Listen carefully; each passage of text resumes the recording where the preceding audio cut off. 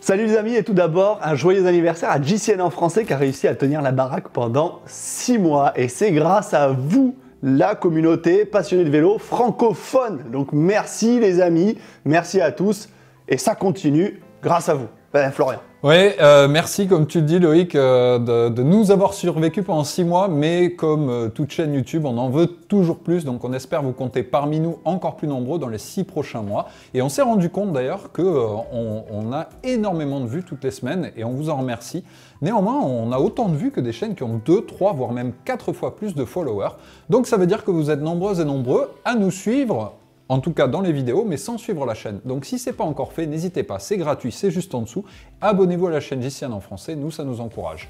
Et ouais Florian, enfin nombreuses, pas tant, hein, on s'est aperçu qu'il y avait quand même une population grandement masculine. Donc euh, nous, on parle de cyclisme masculin et féminin, on essaie de l'intégrer, voilà, on s'y intéresse aussi.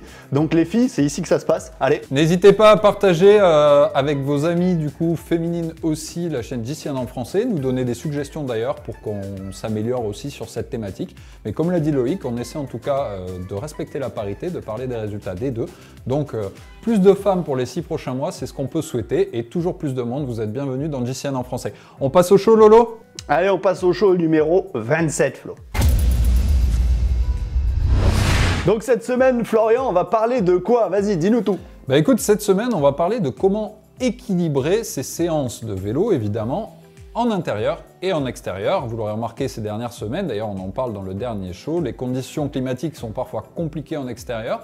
Du coup, de plus en plus de coureurs, comme toi et moi d'ailleurs, Loïc, ont recours à des séances en intérieur. Donc comment optimiser les deux lorsqu'on a besoin de s'entraîner? Ben, C'est le sujet de ce show numéro 27, Loïc. Et ouais, les raisons euh, de ne pas s'entraîner dehors sont nombreuses ou de ne pas pouvoir s'entraîner tout court. Alors il y a le travail, donc on n'a pas le temps. Ou alors c'est pas le, beau, il n'y a pas beau temps, mais il fait pas beau, donc du coup on sort pas, on préfère aller sur l'entraîneur.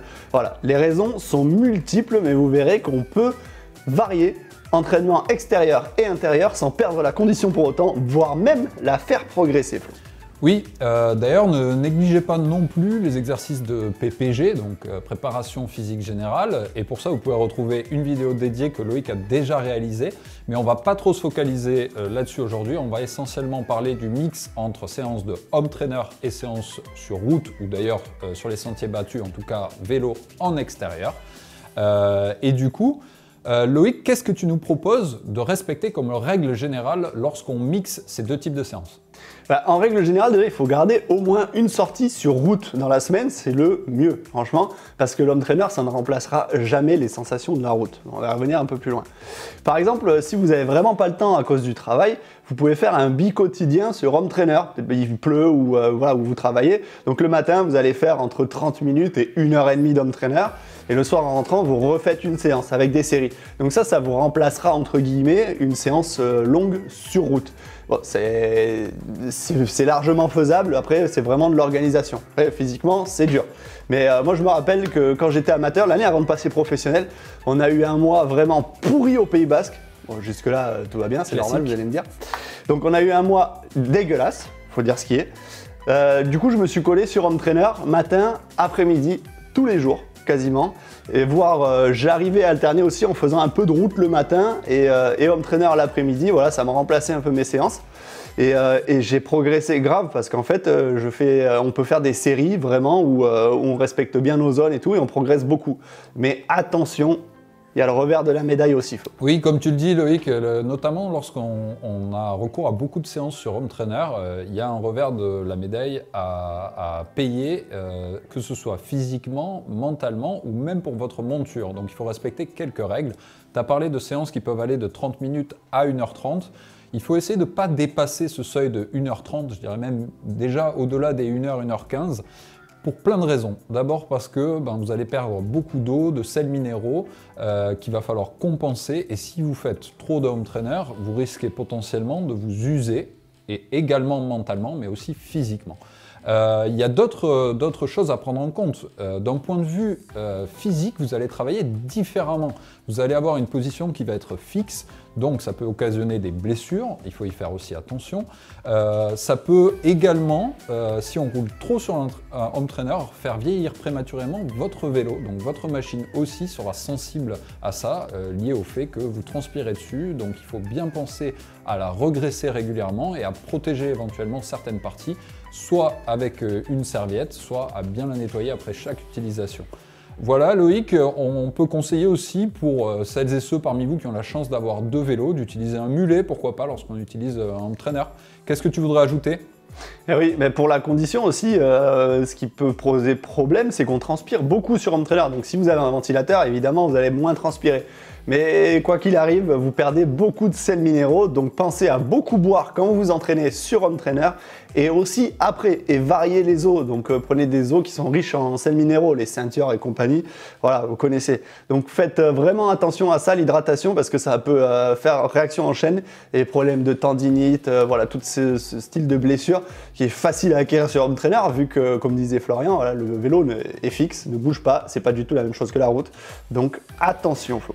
Pour rentrer un peu plus dans le détail de comment combiner ces deux types d'entraînement, on va retrouver des choses assez différentes, que ce soit en intérieur ou en extérieur, mais il y a une chose que vous ne trouverez jamais sur un home trainer, c'est le pilotage. Et euh, c'est une notion qu'on a tendance trop souvent à oublier, mais le vélo, c'est un sport de pilotage.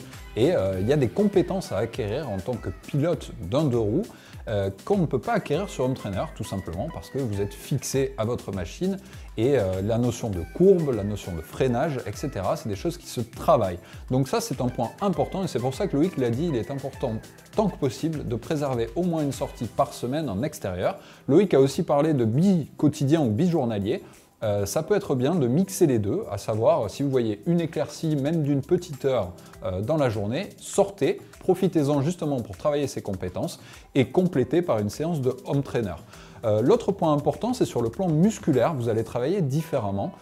Parce que, ben, notamment, lorsque vous êtes fixe sur votre home trainer, vous n'allez pas travailler tout un ensemble de muscles qui vont travailler lorsque vous êtes en mouvement sur un vélo qui oscille sur, euh, un terrain, qu'il soit route ou euh, chemin. Voilà Loïc. Toi par exemple, euh, est-ce que tu travaillais le, pilotage de façon spécifique je sais pas, comme les descentes ou peut-être comment se comporter dans un groupe Non, pas spécialement, parce qu'en fait, c'est des choses que on acquis avec le temps et, on commence à faire corps avec sa machine et c'est des habitudes, c'est des réflexes. par contre, je sais que le pignon fixe m'a beaucoup aidé pour ça, à l'anticipation, tu vois Flo, de rouler beaucoup sur route en pignon fixe l'hiver, surtout que moi je roulais sans frein en plus, et dans le Pays Basque on sait que c'est vallonné. Donc euh, l'anticipation des virages, de tout, des problèmes, des voitures, euh, voilà, ça, ça m'a vachement aidé en course et ça m'a évité un paquet de chutes quand même. Hein. Bon, après, euh, il y a une des choses essentielles à savoir, c'est que d'aller rouler dehors, ben, ça vous fait du bien au moral. Ça fait du bien à la tête, ça aère l'esprit. Et ça, c'est pas négligeable parce que rester la journée devant votre télé à regarder des infos en boucle, machin, euh, vous n'avez plus qu'à aller acheter une corde et c'est parti. Quoi. Donc sortez un minimum, aérez-vous, faites-vous plaisir dehors. Et vous ferez plus score avec votre machine en plus.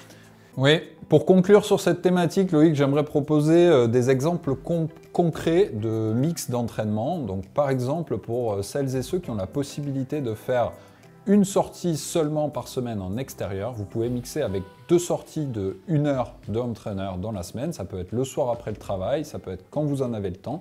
Euh, l'avantage de ces séances de 1 heure, c'est qu'en une heure de temps, vous allez déjà pouvoir ressentir un effet concret. Vous allez pouvoir vous défouler, vous allez travailler du spécifique. En termes d'intensité, ces deux séances-là plus courtes doivent être évidemment d'une intensité supérieure, alors que celle sur la route va être davantage sur du fond, donc elle sera plus longue et elle sera moins intense. De la même façon, vous pouvez reproduire ça en fonction de vos disponibilités, donc en multipliant ces séances-là. Donc par exemple, deux sorties en extérieur, deux sorties en intérieur, ou deux sorties en extérieur, trois sorties en intérieur. Voilà, évidemment, lorsqu'on a le choix entre les deux, euh, on conseille d'aller à l'extérieur parce que comme tu l'as dit Lolo, c'est mieux pour le moral, c'est mieux pour le pilotage et ça ne reproduira jamais mieux euh, bah, les sensations du vrai vélo que le vrai vélo, c'est-à-dire en extérieur. Qu'est-ce que t'en dis Loïc pour conclure? Bah moi je pense que euh, t'es en train de faire de l'ombre à Philippe Lucas dans l'entraînement. Là t'es pas mal mon gars. Là je pense que t'es bien. T'es Ah, plutôt bien. j'ai- déjà, j'ai déjà l'image et il me tarde de te jeter dans une piscine et, et te gueuler euh, dessus euh, du bord de la margelle. Ah bah on va te mettre une perruque blonde, des lunettes blanches et c'est parti. Vas-y avec des chaînes en or, un Marcel et puis tu seras au top. non mais j'en dis Flo qu'on a bien, euh, a bien résumé la situation. Écoute, en tout cas, euh, vous qui nous regardez, euh, dites-nous ce que vous faites dans l'application. Euh, Racontez-nous un peu comment vous organisez vos semaines et, pourquoi pas, ça peut aussi nous donner des idées à nous, hein, Flo. Donc euh, on peut passer à l'actu. Allez, on passe à l'actu. L'actualité principale de cette semaine, c'est une grosse surprise, c'est Tom Dumoulin, le coureur de la Jumbo Visma, qui a annoncé mettre entre parenthèses sa carrière. C'est pas le premier euh, à, à prendre une telle décision. hein. On se souvient que Marcel Kittel, par exemple, avait pris une décision similaire. Lui n'était jamais revenu. Donc euh, voilà, apparemment un peu de surmenage. Encore un qui n'a pas écouté nos conseils et qui a dû faire de trop longues séances de home trainer. Euh, voilà, bon, blague à part, euh, on espère qu'on le reverra très bientôt sur un vélo et on lui souhaite de, bien profiter de sa vie, de penser à autre chose, de s'aérer et puis de revenir au vélo. Mais euh, une fois de plus, ça nous donne l'exemple que c'est un sport qui est très difficile, à la fois physiquement et mentalement. Quoi d'autre, euh, Lolo, cette semaine? Eh bien écoute, quoi d'autre? On a une super nouvelle, c'est JCN qui va collaborer avec Movistar. Movistar qui lance sa team de, euh, de, e-sport, voilà, sur Home Trainer, euh, qui va faire, qui, veut, qui veut recruter tout simplement à partir du 3 février. Ils vont faire voilà, les compétitions sur Zwift, donc à partir du 3 février, ils recrutent des coureurs. Vous allez faire les sélections, ensuite il y aura 20 finalistes. Et la finale, ce sera quand, euh, Florian? Le 22 février, je crois. Alors déjà, il y aura, y aura, y aura 10 gagnants à l'issue de ces, ces finales. Ce sera 5 hommes et 5 femmes, ouais. Et du coup, euh, c'est à partir du 22 février, il y aura un tournoi avec euh, différentes étapes à passer. Tout le monde peut s'inscrire. On va vous donner les modalités dès le show la semaine prochaine. On attend encore que tout ça soit officiel. Mais tout le monde pourra participer et vous serez recruté en fonction de vos résultats sur la plateforme Zwift. Voilà, et euh, vous pourrez donc intégrer euh, l'équipe e-sport de, Movistar et euh, vous aurez à la clé tout le matériel fourni, vous allez pouvoir bénéficier de stages avec l'équipe, vous allez pouvoir bénéficier de leur, euh, de leur kiné, de leurs entraîneurs, bref, le top du top. Donc euh, restez connectés. Eh Flo, c'est l'occasion pour toi de passer pro. Merci Lolo. Vas-y, feu, Mais mon je gars. crois que ça s'adresse... Parce qu'attends, attends, attends, dans les résultats. Ah, je vais pas spoiler les résultats, vas-y, on dira tes résultats après. Là, t'as teasé un peu, mais bon, euh, on, on en parle tout à l'heure. Ouais, Bref, ouais. c'est une belle opportunité, mais je pense qu'il faut laisser la place aux jeunes. Moi, ma carrière, elle est derrière moi, euh, elle est ce qu'elle est, et on va en rester là. Mais non, euh, putain, c'est nul, c'est nul. Putain, tu pourrais passer pro. Pour conclure sur le- sur l'actualité, Loïc, euh, malheureusement un peu moins fun, euh, les annulations continuent et sans rentrer dans le détail de tout ce qui a été annulé, j'aimerais juste soutenir nos amis du, du tout-terrain parce que ben, nous déjà la route on est pas mal touchés, mais eux c'est encore pire. Les coupes du monde sont toutes ou annulées ou reportées, les coupes de France c'est pareil et dans une année de Jeux Olympiques. C'est vrai que c'est un peu triste à voir. Euh, ben, en parlant de Jeux Olympiques d'ailleurs, eux-mêmes sont menacés, donc euh, on croise les doigts en tout cas, il faut garder le sourire. Et, euh, voilà Loïc, et la bonne nouvelle c'est quoi en conclusion? C'est Biden qui fait du vélo, c'est ça? J'étais sûr que t'allais le dire, je voulais le dire avant toi. Dans le script, on a mis Biden fait du vélo, mais on n'a rien marqué à côté. Et Flo, il a mis en petit sur le côté, il a mis qui s'en fout? Moi, en fait, je pense que tout le monde s'en fout qu'il fasse du vélo. Donc, euh, bref, on peut enchaîner sur les résultats, Flo. Et on commence tout de suite avec la reprise de la saison route sur le Grand Prix de Valence. Une magnifique victoire française, voilà, qui nous vient de Lorenzo Manzin de, de Total Direct Energy, devant Michael Aristi de la superbe et magnifique équipe Euskadi. Voilà, Florian, ça c'est dit. Et troisième, le jeune Amaury Capio. Eh oui, Ouais, donc déjà une victoire française euh, pour l'ouverture de la saison. Euh, on a hâte puisque dès le week-end prochain, c'est le Grand Prix de la Marseillaise, donc l'ouverture de la saison en France cette fois-ci. Euh, voilà, mais euh, la saison route reprend, mais en même temps, Loïc, on est en plein dénouement de la saison de cyclocross, puisque ce week-end se jouait la dernière manche de Coupe du Monde en Belgique à... Où ça? Vas-y, dis-moi Loïc? Overy. Overease. Ça, ça se dit Overeat. Ouais. Aidez-nous, on est en PLS à chaque fois pour les prononciations néerlandaises. Ou sinon, on va faire un truc, Flo, c'est qu'on va, on va faire une liste de tous les mots néerlandais qu'on n'arrive pas à prononcer. On vous les envoie, vous vous enregistrez et nous on les balance dans les shows à chaque fois. C'est une bonne idée. Bon, en tout cas, moi je me risque, et donc c'était la dernière Coupe du Monde à Overease, et ça fait longtemps qu'on connaît ce circuit, hein, parce que c'est pas la première année qu'on le voit en tout cas. Euh, et donc, euh, petite surprise, entre guillemets, puisque euh, Mathieu Van Der Poel dominait un peu de la tête et des épaules les dernières semaines, même si Wood Van Aert était pas très très loin, eh c'est Wood Van Aert qui a remporté cette épreuve, en remportant par la même occasion la Coupe du Monde et le classement général de la Coupe du Monde, puisqu'il était en tête avant le départ. Euh, voilà, Mathieu Van Der Poel qui euh, a quand même été victime de trois chutes, mais il faut dire aussi qu'il a été poussé dans ses retranchements par un grand Wood Van Aert, et Tom Pitcock complète le podium. Voilà, euh, chez les hommes. Chez les femmes, euh, Loïc, tu veux enchaîner? Bah, chez les fans, euh, les- chez les fans, Ah ouais, chez les fans, tu le sais. Non, chez les femmes, bah, c'est toujours pareil. Enfin, j'ai envie de dire, euh, je vais pas vous apprendre grand chose. Céline euh, Alvarado, vainqueur, devant, devant Lucinda Brand et, et Manon Baker, qui nous fait une très belle troisième place. Oui, il y a quand même une petite variante, c'est que la championne du monde en titre, à une semaine des mondiaux, Céline Alvarado semble monter en puissance, puisque Lucinda Brandt était quand même largement euh, dominatrice de la première partie de saison. Euh, donc clairement, que ce soit Alvarado ou Wood Van Aert, euh, ils ont pris euh, une petite option psychologique avant les championnats du monde, donc ce week-end. Voilà. Et d'ailleurs, euh, Wood Van Aert, euh, j'en profite pour l'ajouter, il a re-signé trois ans de plus euh, chez Jumbo Visma. Donc voilà, ça faisait partie des actus. N'hésitez pas à nous donner en commentaire vos, vos favoris pour ces championnats du monde ce week-end de cyclocross. Ça s'annonce palpitant.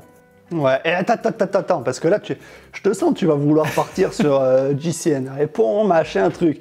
Je vous l'ai teasé tout à l'heure. Florian rentre dans les résultats de ce show numéro 27. N'importe quoi. Brr, il est là, il est là, le flow. Le flow, il nous a fait une troisième place au championnat régional Zwift. Alors là, quand il nous dit ouais, moi je roule pas, machin, le mec il s'entraîne, qu'il en veut plus.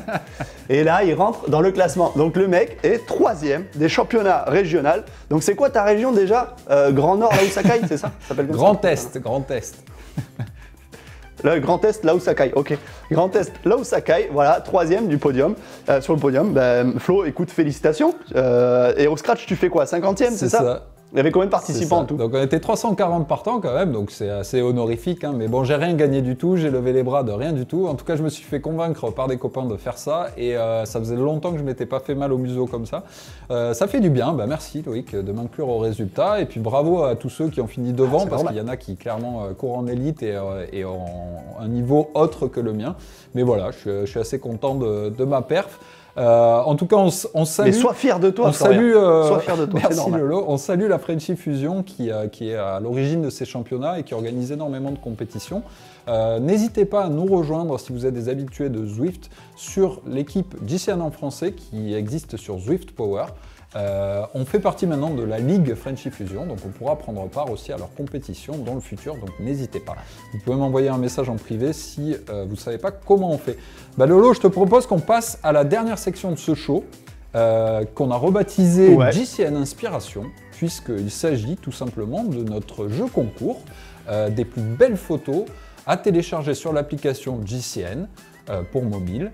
Et euh, la thématique, on l'a lancée la semaine dernière, c'est la thématique de euh, rouler dans des conditions extrêmes. Donc on a parlé de la neige, mais pas que. Et vous avez déjà été nombreux à poster de très belles photos.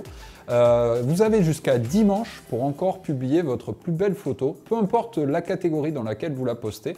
Euh, on comprendra que c'est une photo pour le concours, vous en faites pas. Et on a de très beaux cadeaux à gagner du coup pour les trois premiers qu'on sélectionnera pour le show de la semaine prochaine. Loïc, tu nous dis quels sont ces cadeaux? Ouais, en plus, c'est des beaux cadeaux et vous nous en réclamez tout le temps. Donc, le premier, il gagnera un sweat à capuche GCN. Voilà, celui que vous rêvez tous, le Core Grey Hoodies, euh, avec un t-shirt GCN noir et or. T'as vu classe. le gold, champion olympique, le mec, au calme. Même nous on l'a pas su. Mais aussi un bidon GCN. Donc comme ça, tu pourras hydrater, hydrater, hydrater. Toujours, quand tu es sur Home Trainer, s'hydrater. Et euh, le deuxième vainqueur, Flo, ce sera quoi? T-shirt noir et or aussi. Ah putain, mais ils sont tous champions olympiques là, c'est magnifique. Un t-shirt noir et or aussi pour le deuxième.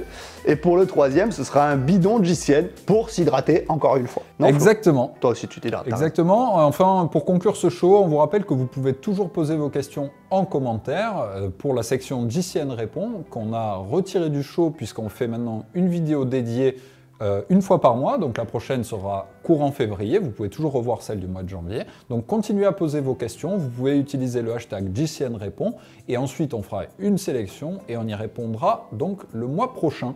En attendant, euh, Loïc, euh, ben, on se retrouve mardi prochain pour les résultats du concours et puis d'autres surprises, Lolo. Hein Qu'est-ce qu'on retrouve euh, Lolo, Lo- Bah, Lolo en costard Moi, j'avais pas vu. J'avais pas vu que tu avais mis ça dans le script. Voilà, Florian a marqué dans le script euh, à mardi pour les résultats du concours et d'autres surprises. Loïc en costard. Point d'interrogation. Florian en borat. Point d'interrogation. Non, mieux, vous verrez. Donc Florian, tu nous diras euh, tout qu'est-ce que tu as pensé. euh, mais euh, on viendra pas tout nu. hein. Allez, à la semaine prochaine pour la réponse. Allez, à mardi prochain. Ciao.